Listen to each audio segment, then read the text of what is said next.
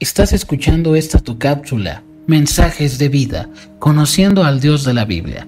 Habla tu amigo y servidor en Cristo Brandon Soto López.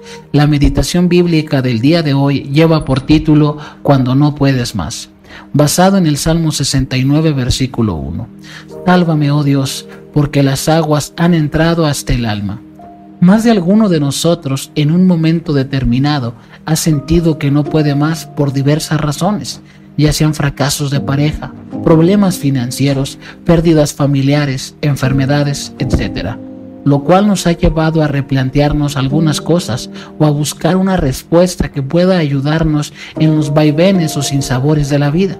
El salmista David, el cual es el autor de este salmo, describe de una manera poética su situación al punto de decir que las aguas le han entrado hasta el alma. Esto significa que dicha situación de angustia había rebasado los límites de sus fuerzas.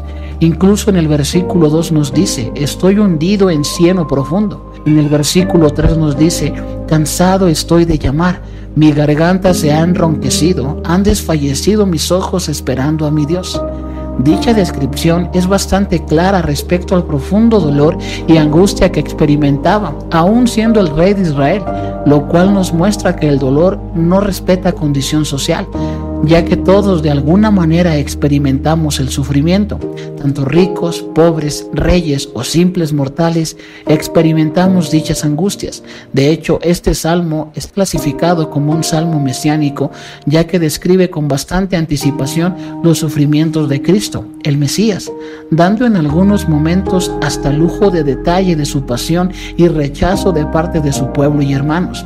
Esto nos hace nuevamente recordar que el sufrimiento es parte de todos e incluso Dios el Mesías, nuestro amado Señor Jesucristo, tuvo que experimentar dicho dolor al llevar en su cuerpo nuestros pecados y soportar esa dolorosa crucifixión por amor y por rescate nuestro. Es ahí donde podemos aprender que el dolor y el sufrimiento no siempre deben verse como algo meramente negativo, porque como hemos repetido en varias ocasiones, todos inevitablemente sufrimos y vamos a sufrir.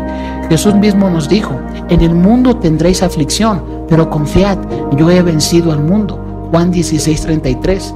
La buena noticia es que Jesús nos ha librado a los que creemos en Él del mayor sufrimiento que se puede experimentar me refiero a la eternidad sin Dios y a la perdición eterna.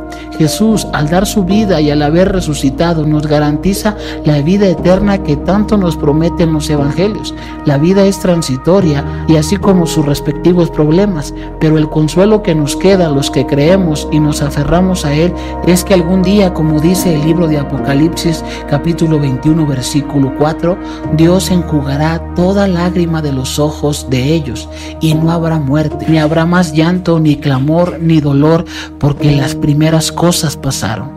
Esta hermosa promesa puede ser tuya si crees de todo tu corazón en la obra de Jesucristo al llevar nuestra iniquidad y maldad a la cruz y al creer de que Dios lo resucitó de los muertos y así como dice el Evangelio de Juan, para que todo aquel que en él cree no se pierda, mas tenga vida eterna.